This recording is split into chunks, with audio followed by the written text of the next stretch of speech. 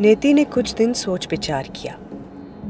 आखिर में फैसला कर लिया कि वो टांगा खुद चलाएगी।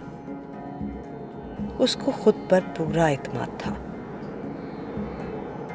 चुनाचे अल्लाह का नाम लेकर वो तवेले पहुँच गई। टांगा जोतने लगी तो सारे कोचवान हक्का बक्का रह गए।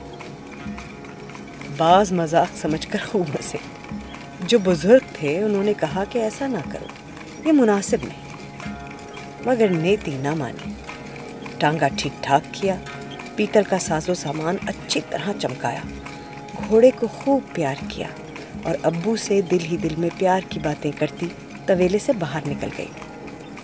कोचवान हैरत ज़दा थे क्योंकि नेति के हाथ रमा थे, जैसे वो टांगा चलाने के फन पर हावी है।